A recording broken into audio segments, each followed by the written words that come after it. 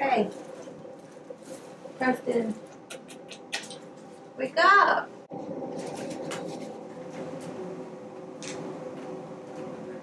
Wake up some now?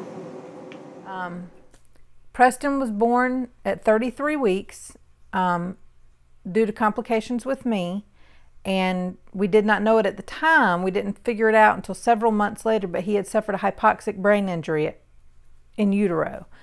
Um, at that time, he spent 20 days in the NICU. We brought him home thinking he was perfectly healthy.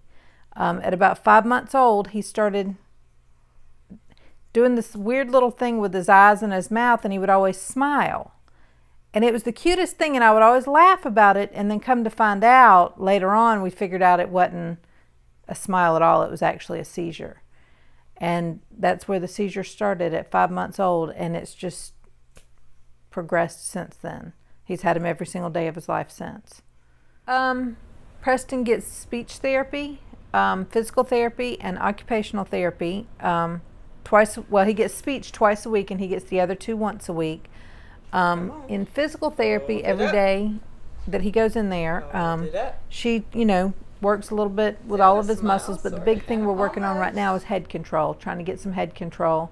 Obviously, wherever the head goes, the body follows. So if we can get you know him able to hold his head up that would number one make my life a whole lot easier. But number two it would be better for him. Um, and then in occupational therapy and ot they're working a lot with his hands and stretching his hands out and making sure that his his hands will actually stay open to be able to grasp toys and and pick up things and um, you know things like that. Um, and and he's doing pretty good in both he, he is definitely doing pretty good in both and then in speech therapy, we actually see the speech therapist twice a week. Um, and we're actually doing what they call VitalStim, which is basically where they attach electrodes to your face. Well, actually, now he's got his on his larynx and on his neck muscles.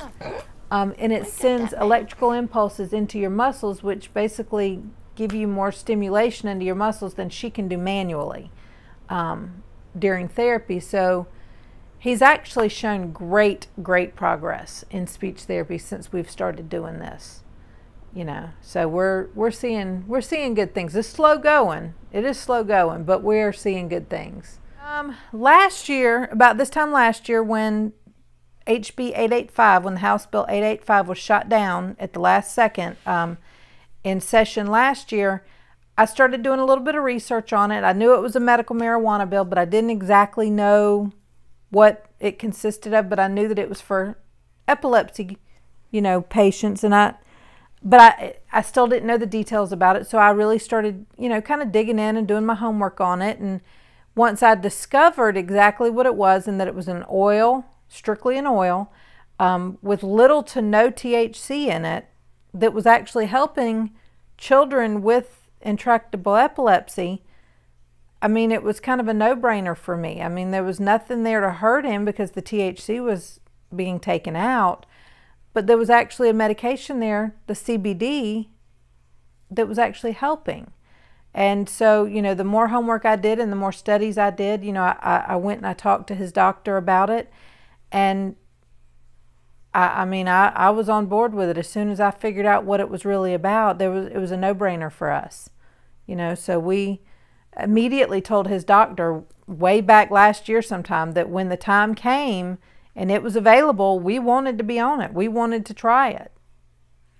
And so when the trial, when the governor decided to start the trial study, um, somehow by the grace of God, we were one of the first families chosen. Um, HB1 is the new bill for this year. Um, since HB 885 was shot down, they basically rewrote a new bill this year um, and it basically is a, a, a medicinal a marijuana bill. It's a medical I cannabis bill um, that basically decriminalizes the use of medical cannabis oil, strictly the oil. It's not the smokable form. It's not pill form. It's not. It's strictly the oil form with low THC, um, and it finally got passed this year. We had a couple of back and forths there for a minute, but it did finally get passed this year. So any patient that has any of the qualifying conditions that are in the bill um, can actually get access to it. Well, can they can use it and not be criminalized for it if they get caught with it. It's still kind of a conundrum about how we're going to get it here, but once they get it here, they will not be in trouble for having it here as long as they have under the THC limit and under the quantity limit. They can only have up to 20 ounces of it or less. So we're extremely excited that it got passed. It's going to change a whole lot of lives for a whole lot of people. So, isn't that right, buddy?